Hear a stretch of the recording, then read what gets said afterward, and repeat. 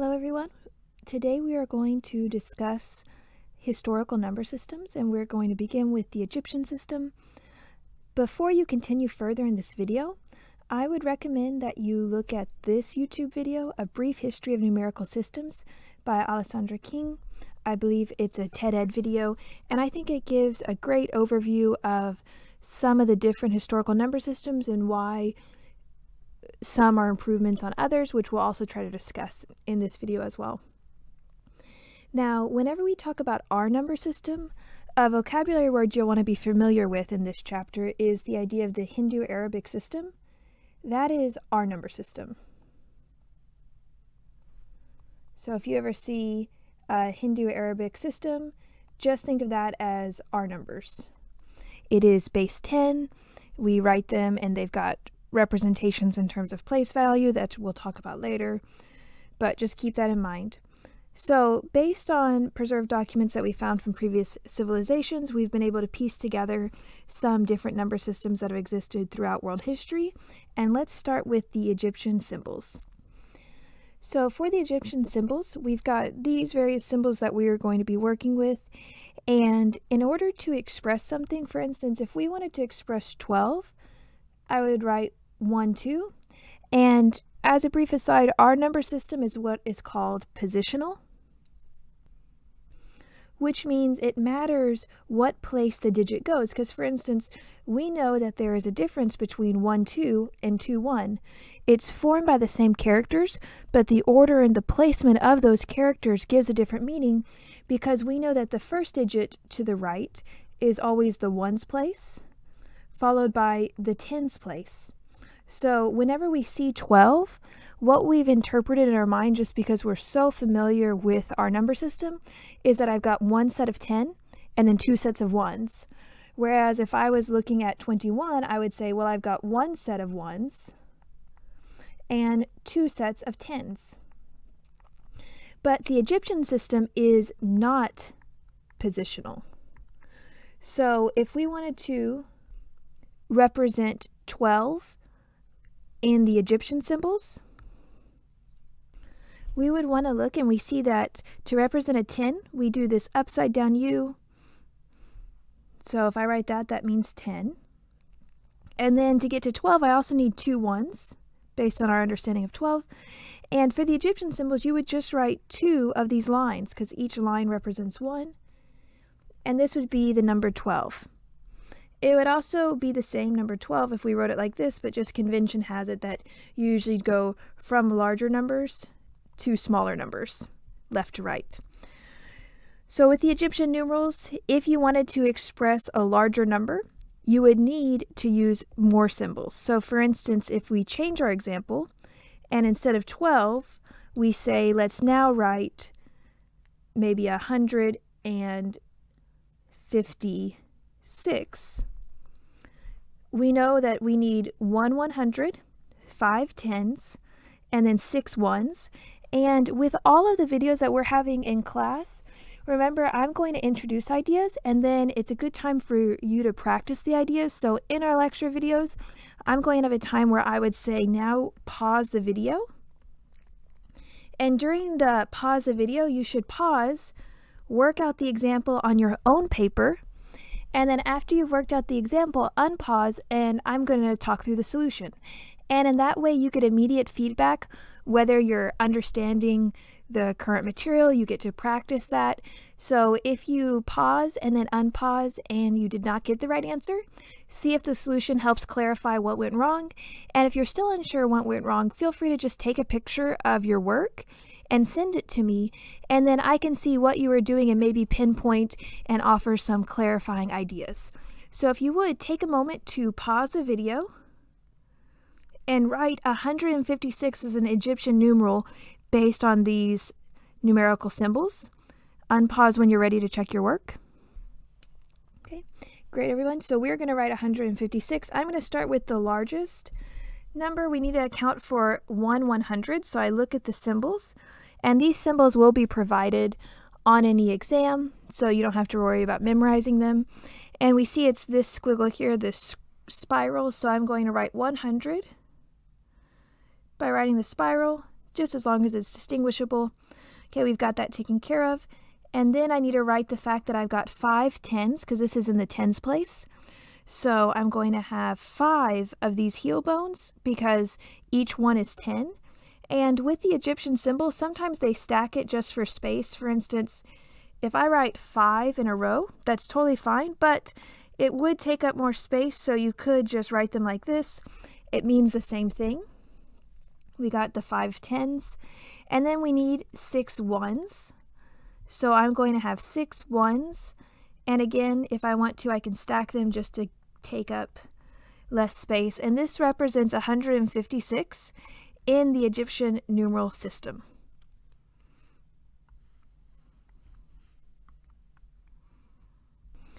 Now, we just did an example where we took something that was in our numerical representation and translated it to Egyptian. This next example has kind of the reverse problem. In this next example, we are going to go from already Egyptian symbols to our number system. And really quickly, I apologize for that typo. I'll make sure I correct it on the printout notes that I post to the classroom. In a previous version of the book, they used a slightly different symbol for 100,000, but for our book, this is the symbol, so I've just corrected my example to show the little tadpole instead of the thing that looked more like a whale. So now that that's corrected, we want to translate this Egyptian symbol into our own number. And notice they said Hindu Arabic number, that's our number system. So let's start from the left and then go to the right because we know we write usually larger to smaller. This symbol matches this, so we know each one of these represents a 100,000. And since we have two of them, that means we have 200,000. And if you want, you could just write it out at first where you're just going to be adding them all together. The reason I have 200,000 is because I have two of the 100,000s. Next, we identify this symbol. The next symbol here, these little flower types, represent a thousand each, and we'd count how many of them do we have? One, two, three, four. So we've got four of those. So that represents 4,000 that we're adding. Next, we would translate the symbols to the right of that. And we see that matches our scroll. Now we have three of those symbols, each of them 100. So we would add 300 to that. And then we would continue with our next one. Now here we've got one, two, three, four, five, six, seven, eight, nine of the heel bones. Each of them are 10 each. So that means we have an additional 90 represented by these symbols. Finally, we've got our ones, one, two, three, four, five, six, and we have seven of those. So that means we're going to add 7. Now add these all together. You can either add them in your calculator or just mentally think about it, and we would get our final answer to be 200,000 or 204,397. So this number in Egyptian numerals represents our Hindu Arabic number of 204,397. Now this is just another example to practice taking Egyptian symbols into our number system. So here we've got this written, and this isn't in the notes, this is just one you can write off to the side as an extra example. If you would pause the video now, translate this into our number system, and then unpause to check your work. Now here we just start from left to right and we look, what is this symbol representing in terms of our number system. We identify each one of these symbols represents 10,000. Since we've got three of them, that would rep er, represent 30,000 because it's three 10,000s. And we are going to add to that two of these symbols, each of which represent 100. So that combines to be 200 that we're adding, plus these symbols, we see that represents 10 each, and we've got one, two, three, four, five, six, seven, eight of those. 8 times 10 is 80. Add that all together and we have 30,280. And in this part, you could either just add these together in your mind, knowing how the place values work, or you could carefully type them into your calculator and you would get the same answer. So if you got that right, great job. If you didn't get that right, maybe look over your work and try to identify um, why the correction is necessary. And if you're unsure, remember you can always take a picture, send it to me along with your question. I'll be happy to get back to you. Now in this next example, we are asked to express something that is an R number system into Egyptian form. And this can be a helpful time just to review how our number system works. At the farthest right of our any number that we write is always the ones place. And then as you move over one digit to the left, you keep increasing the place value as a multiple of 10. So at first we've got the ones place. And then as we move over to the next position, we have the tens place. And then next, 10 times 10 is 100, so we've got the hundreds place. Moving over again, we increase by 10, so 10 times 100 is a thousands place, that's why this is the thousands the 10,000, and the 100,000s.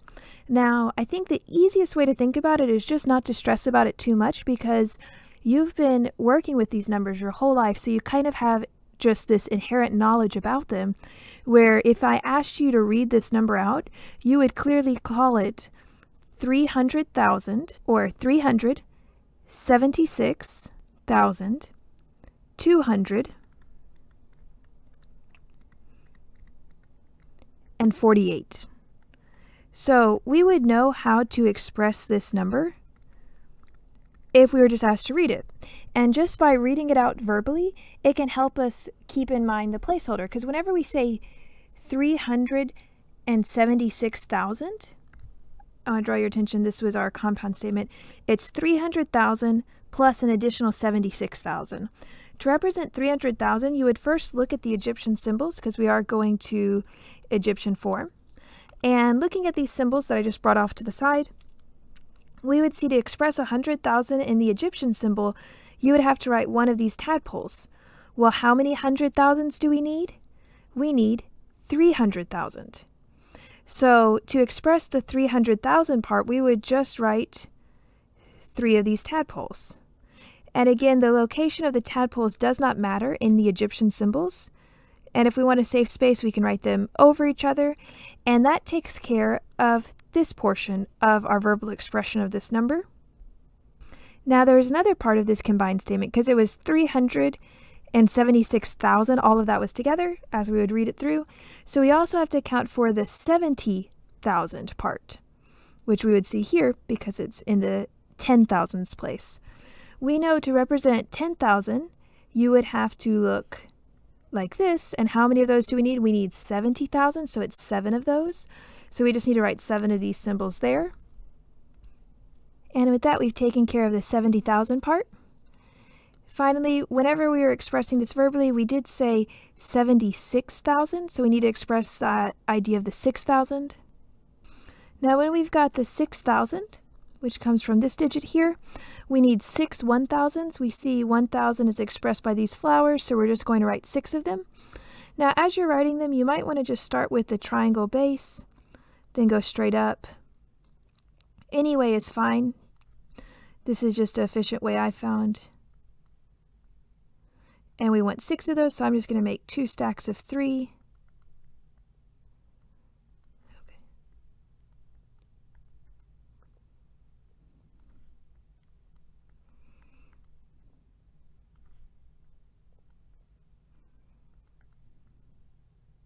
Great. And that takes part of the first part of the statement. We have expressed the fact that we have 376,000. And now we just need to finish the second part of our number, which is 248. Now, continuing that, we know we have got 248, so we're going to look at the 100s.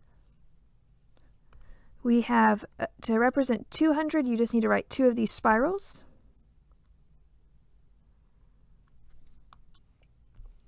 And there we've got the 200. Now we need to look at the fact that we need 40. To write 40, each of these is a heel bone. So we just have four of them. That's our 40. Finally, to represent 8, our last digit, we just want eight ones. So 1, 2, 3, 4, 5, 6, 7, 8.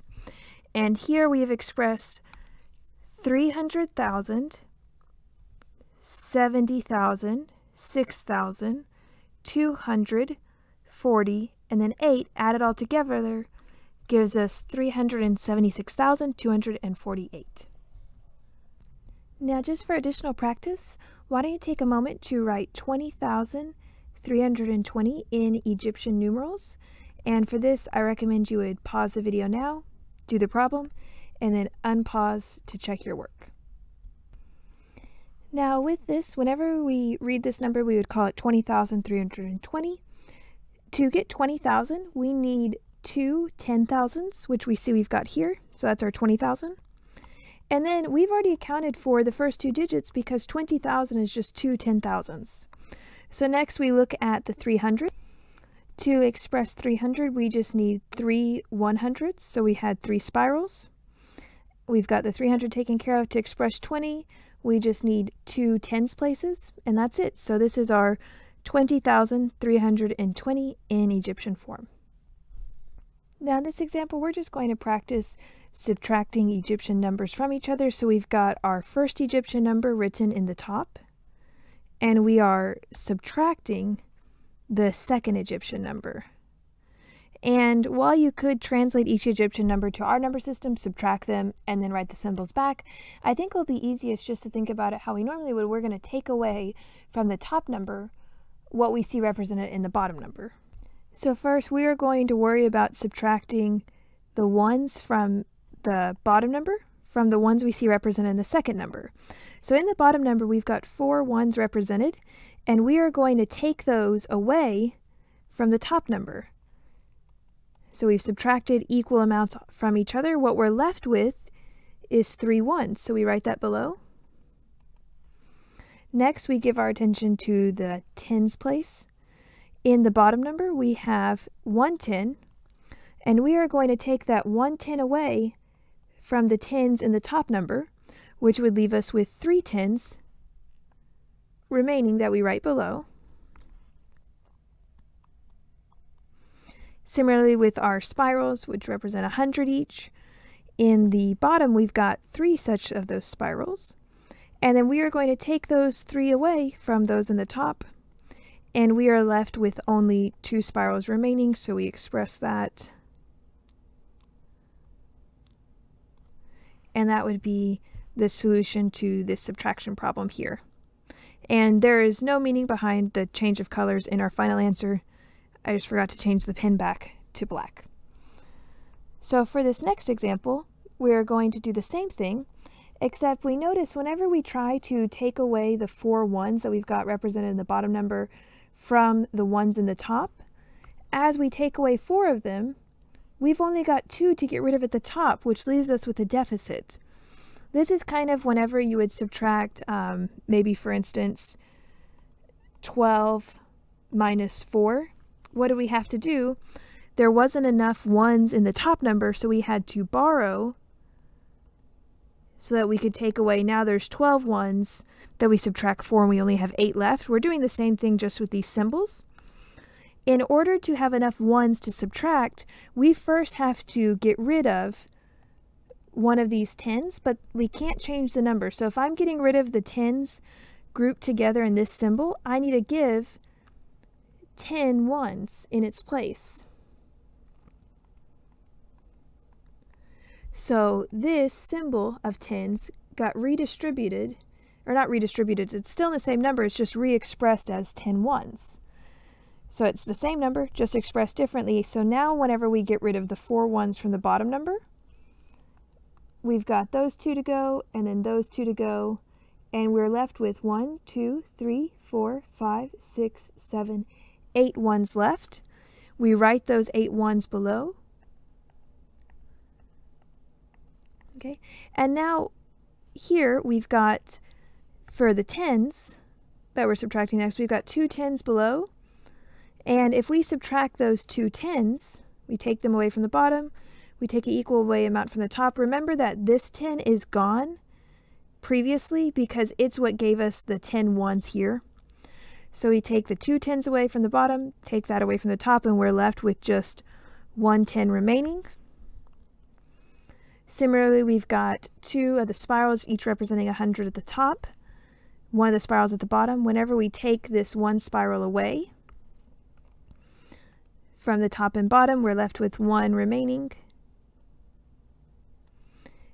And that would be the solution to the subtraction problem in Egyptian numerals. Our next historical number system that we're going to look at is Roman numerals. Now with Roman numerals, we've got these symbols. Again, the symbols will be given on any exam. So you don't have to worry about writing them down, you just need to know how to work with them. And let's quickly talk about some special features of the Roman numeral system.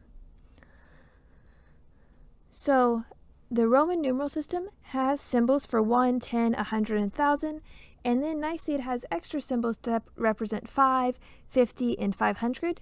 This allows less symbol representation or symbol repetition within a numeral. So for instance, if I wanted to write 15, instead of writing 110 and 5 ones, I could write the symbol for 110 and then 5 as a symbol because we now have the grouping symbol for fives. Now, a subtractive feature, this is probably the key distinction of our Roman system, and we might have already been familiar with it just by the Roman numerals that we've seen in our daily life. For instance, if we saw the Roman numeral, it looks like a 1 and then a V, that represents the number 4, whereas a V and then an I represents the number 6. And the reason behind this is just this idea of the subtractive symbol. So in the Roman numerals, the line is the 1, the V is the 5. And notice in the representation that represents 4, we have the 1 symbol coming before the 5 symbol. So this is a little strange, right? We've got the smaller number to the left of the larger number. And in the Roman numeral system, if you ever have a smaller symbol that comes before, i.e. to the left of a larger number, that means you subtract them. So the Romans would have read this as, since the 1 comes first before the 5, 5 minus 1, which gives us our 4.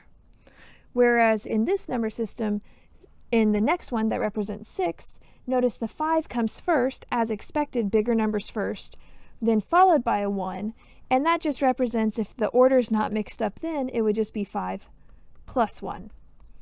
And that's called the subtractive feature. So if you have a smaller valued symbol placed before, which is immediately to the left of a larger value, that means subtract the two symbols.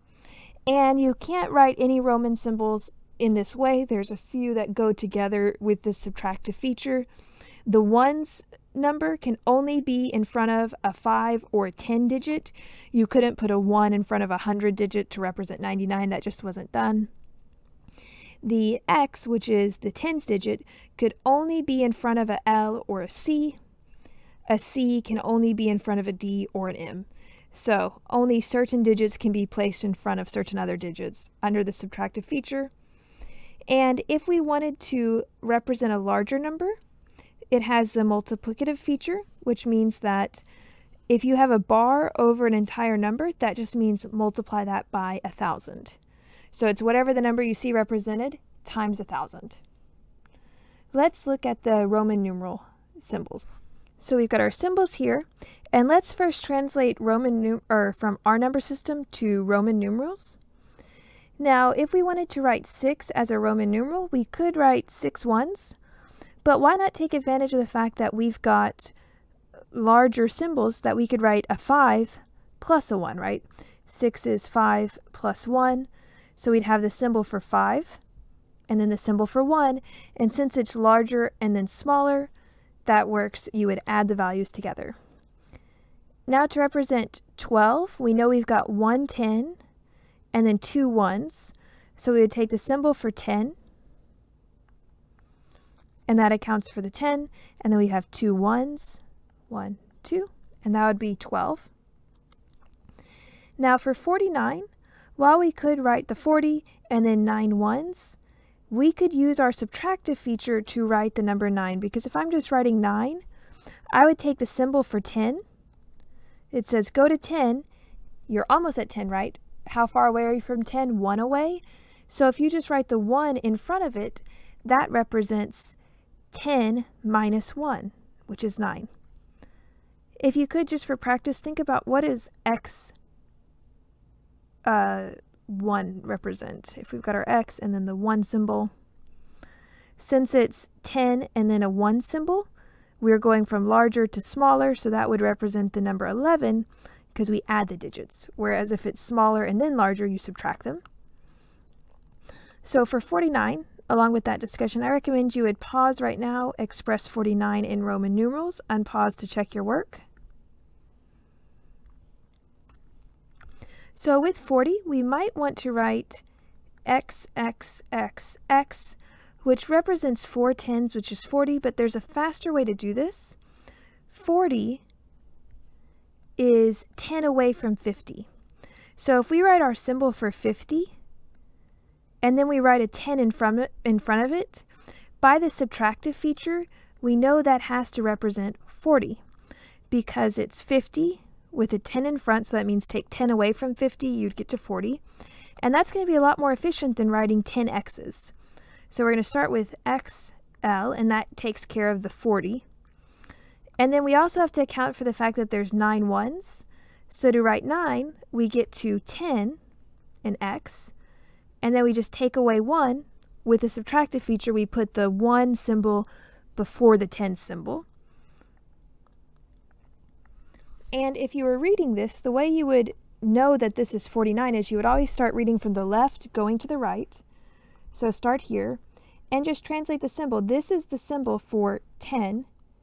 The next symbol is the symbol for 50. And then we'd say, oh wait, a 10 comes before the 50. That's out of numerical order. That means in this symbol, we would need to subtract them. It's really 50 minus 10. So these first two symbols represent 40. Keep reading. This is the symbol for 1. This is the symbol for 10. Again, we've got this out of order, which means we are subtracting them. So it's one, 10 minus 1, which would give us plus 9. Add that all together and we get 49. So this is a translation that uses the subtractive feature twice. Now for 75, we would think about how could we most efficiently get to 70 because that's going to be 70 plus 5. We know easily how to represent 5. 5 is just the v. So we just have to be able to represent 70. We don't want to write the x's 10 times. That would take a lot of space. Or sorry, 7 times, right? Instead, why don't we get as close as we can to 70? So notice 70 would be between 50 and 100. We don't want to overshoot it. So we're going to say we've got 50. How many left do we need to get to 70? 20, right? So we'd write two x's, and that's going to be 70 because it's 50 plus 20, or plus 10 plus 10, 70 there. So we would write this as 70 and then a 5, 75. Now for 101, we look at the numerical symbols that we've got. We could get to 100 by just writing a C. We still are lacking 1, since we want to add that one, we would write that to the right. So it'd just be C1. So this was taking our numerical symbols to the Roman system. Now let's take the Roman system to our number system. And this is our first example here. I would just go by translating these one at a time. Looking for C, that's 100. Okay, D is 500. And here I'm alert because this means that I've got the subtractive feature, right? Because I've got smaller before larger. That means you would take the 100 and subtract it from the 500. So that would just give me 400. Okay, let's keep translating. The L represents the 50. The X represents the 10. Okay, so far so good. It's going from larger to smaller, so we would add those. That adds us to be 60. I'll kind of keep that together. And then we've got the V represents the 5, and the 1 represents the 1. These are in the correct order, so we would add them, larger to smaller, and that would give us plus 6. And you don't have to show all this work. Um, I'm just doing it as an example. You could, as you get comfortable, just think about it, whatever works best for you, and we would get 466. Now, if you would, for our next one, take a moment to pause the video, translate it, and then unpause to check your work. as we just translated each symbol one by one, I just wrote it above, we've got a 500, 100, 100, 50, 10, 10, 10, 5, 1. Now, as I'm reading right to left, I'm going to see are any of these out of order? No, they're always going from largest to smallest. So that means we would just add all the symbols that we see represented together. So that would be 500 plus 200. That would get us to 700. 50 plus 10 plus 10 plus 10 gets you to 80.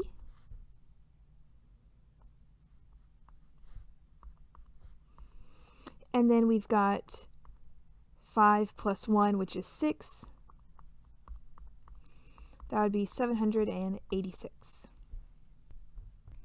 Now for this next one, I see I've got a 1,000. The D represents 500. The L represents 50. The X represents 10. The L represents 50 and then 5, 1, 1, 1. Now, as we see this, we've got the first two, the M and the D, represent 1,000 plus 500. That would be 1,500. And then continuing, we've got 50. As we were working through this, I realized there's a typo here. I did not mean to type this additional L. So it should read M D L X V I, I, I. So continuing now with that corrected version, we've got a 1000, a 500. Since those are in correct order, we could link those together to give us 1500. Continuing, we've got a LX. Now an LX, an L is 10, an X is 50. Since they're out of order, smaller than bigger, we know we're going to subtract them, so that adds 40. And then we've got the 5 followed by three ones. That would add 8. And that would be 1548. As our answer, again, no need to show this work unless you find it helpful. You can also just read it from left to right as you get comfortable with this system. Now with the, we're going to start with the Chinese numerals. So that finishes us for the Roman numerals.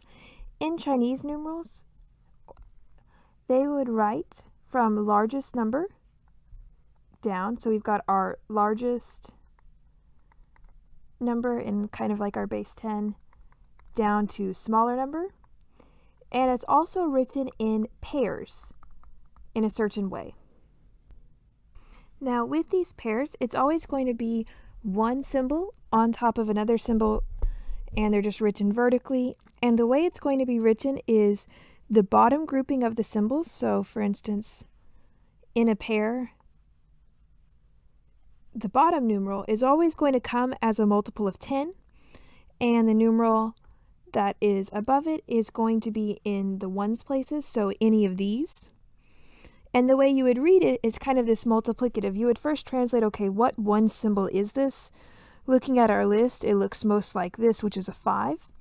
So we would read this as 5 times what base 10 symbol is this? Looking, it looks most like the 100. So we'd read this as 5 times 100, which is a very quick way of writing 500. So instead of having to write the 100 symbol five times, the Chinese numeral has a way to express this multiplication through these very nice quick pairs. So remember, with these pairs, you would write the ones number first, followed by the multiplier of 10 that you want. So if we were trying to write 500, I would have 5 100 symbols. So let's translate our first number into the Chinese number system. If we're writing 614, it will help us if I can think about it as, okay, I've got six 100s plus one 10 plus four ones. And to express that, you would start with the largest grouping, so six 100s. I would write, starting from top, going straight down, I need to write the fact that I've got six 100s, so looking for the symbol of six here. We've got that. And just write it to the best of your ability. As long as it's distinguishable, that is fine. That represents that I've got six What do I have six of? 100. So looking for the symbol of 100, we would write that. And this takes care of the idea that we've got six 100s. These are paired together in those grouping. Continuing, we've got 110. Next, we've got 110. So we'd write the symbol for 1. Showing that it's 110, we would write the symbol for 10 following it. And then finally, for just the ones place, you would just write the one symbol with no pair attached to it. So the ones is the only one that's not written in a two-part pair. The symbol for 4 is just this, so we'd write that. And that is 614. And the way you would read it is starting from the top, pairing it off. We would express this as 6 times 100 plus 1 times 10 plus 4, 614.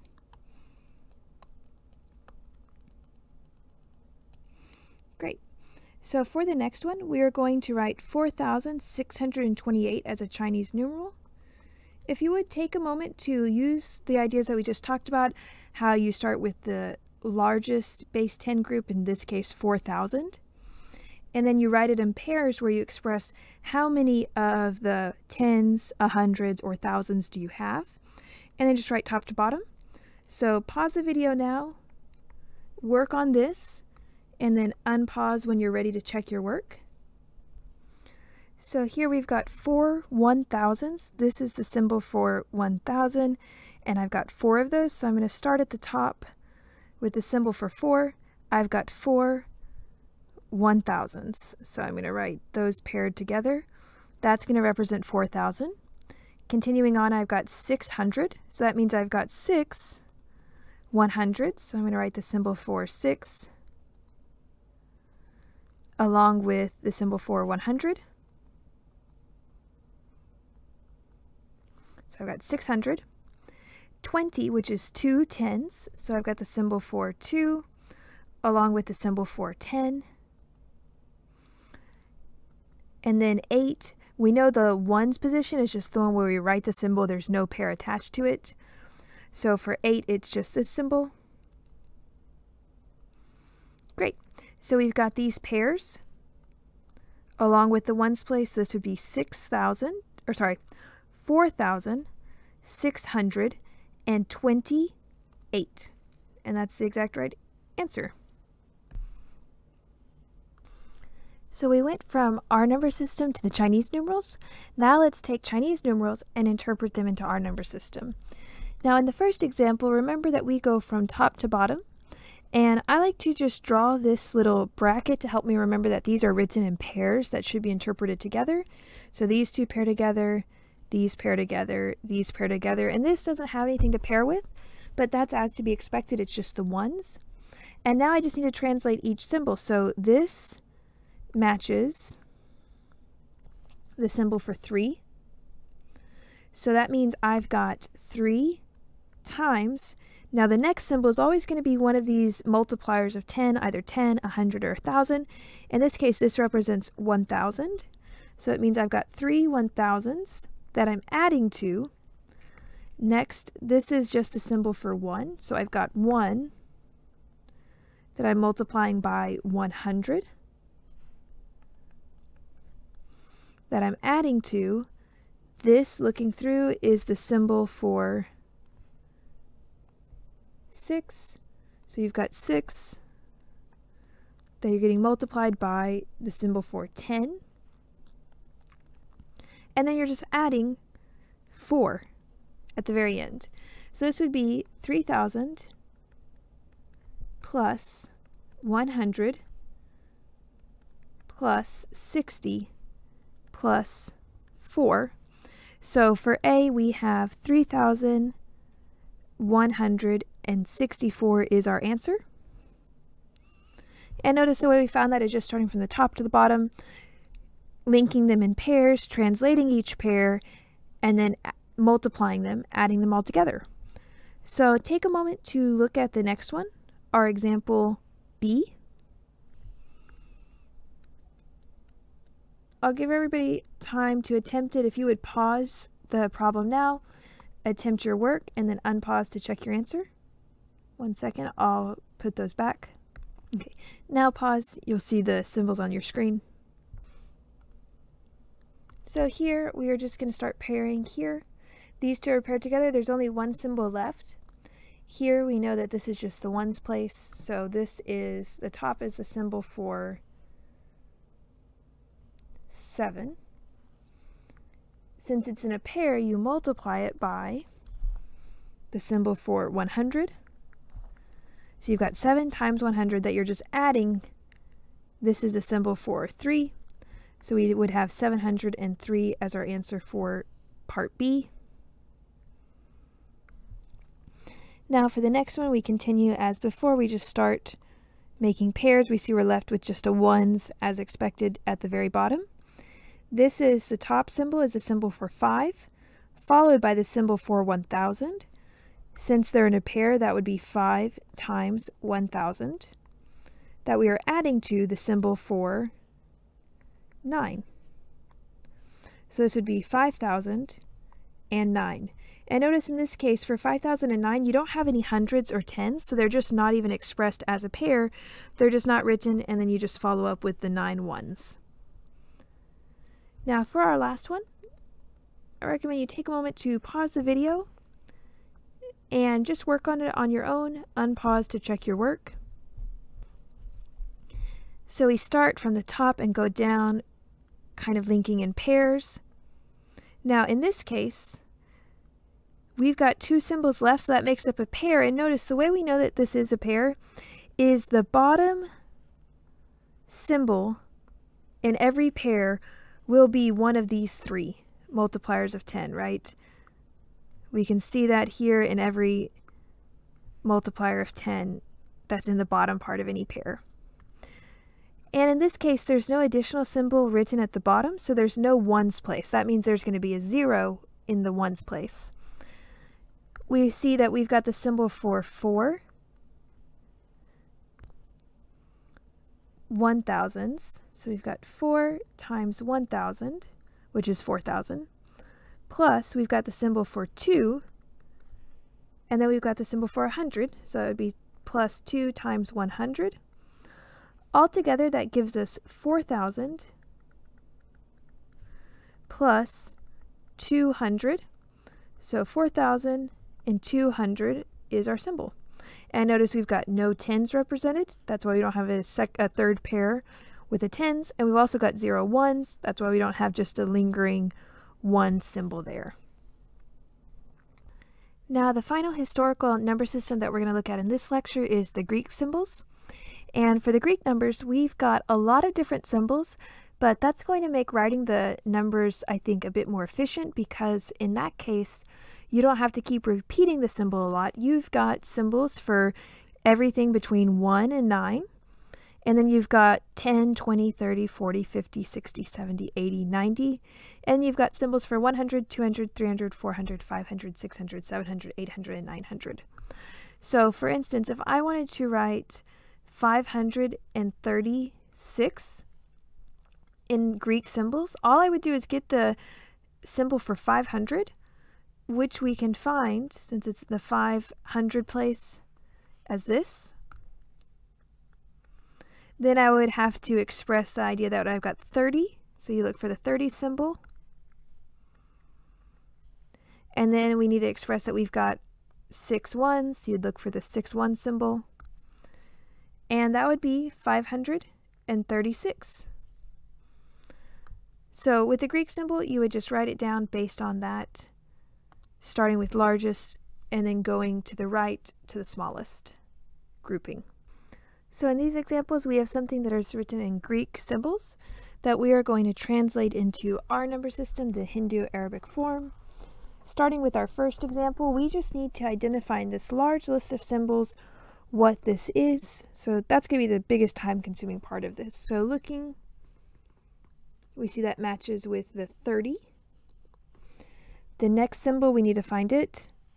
And we see it pretty quick. That's the one. You might just start at the ones and then just keep going till you find the symbol. So that's going to be 30 plus 1. which is 31. Now let's look at our second example. Again, the trick here is just to find the correct symbol. Why don't you look for this in the table?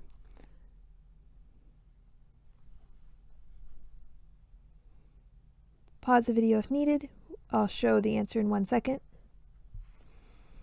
We would find it here. So that symbol represents 300. Next, we would find this symbol. And we see it here representing 20. Finally, we've got this symbol. And just a, another way to help figure this out, if you've got three symbols, the Greek symbol starts with the largest grouping first, so that's going to be in the hundreds, then the tens, and then the ones. So that might help you speed this up. You know if you're looking for this symbol and it's the third from the right, it's going to be in this column because it's going to be one of the hundreds. If you're looking for this symbol and it's the second from the right, that's going to be in the ones, the tens, so you know you'd be looking at this column. And if it's just the first from the right, that's going to be the one, so you know you'd be looking in this column. So that might help speed it up as well. Putting that all together, we would get the number 325.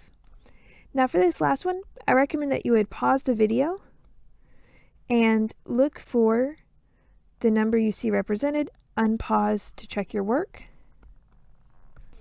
And here we see that we've got a 600 symbol. And this is the one exception to what I was talking about in looking at the columns. Even though this is the second symbol to the left, it happens to represent a multiplier of 100 because there is no tens in this number. This number is just 604. So in the Greek symbol, notice there's no tens place. When there's no tens place, you just don't write it. So we would just express this as 604.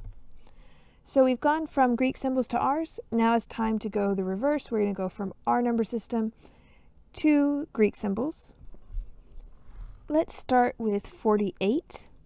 Now in 48, we've got 40, which we would write here. And then we would have additionally an 8 and we write just largest symbol to the left and then smallest symbol after that. So we've got 40 and then 8. Next, looking at 124, that is 100. So we have 100 given by this symbol. And then we've got 20.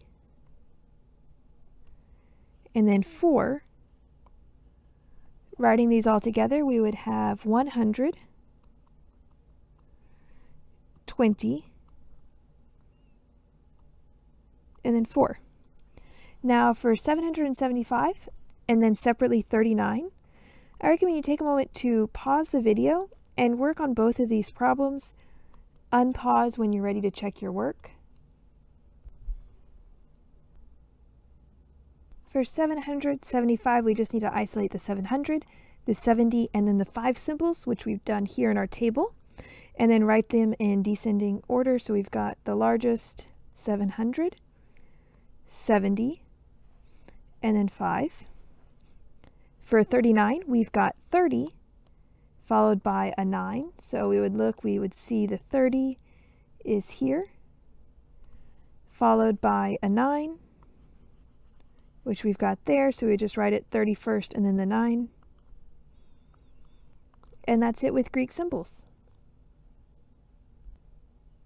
So just to help everybody know how to best use these videos, as you are taking notes on your paper, remember you're watching the screen, you're pausing, you're thinking about it, you're writing down your notes if you want to have a reference later.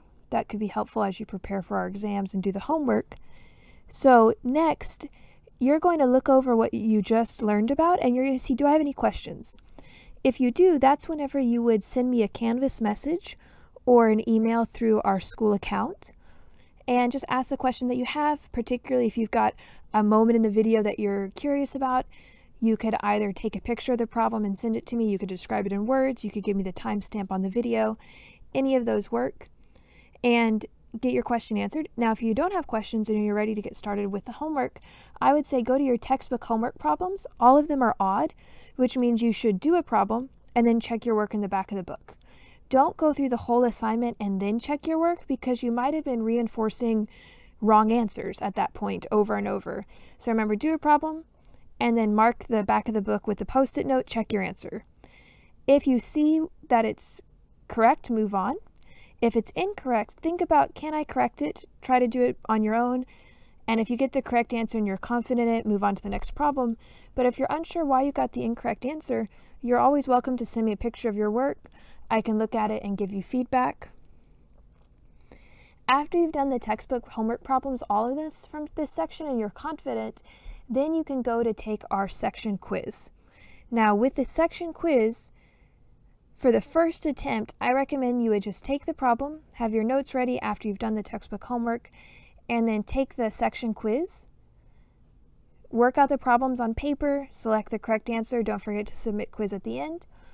And then at the very end of that, it's going to show you which questions you got correct and which ones you got incorrect.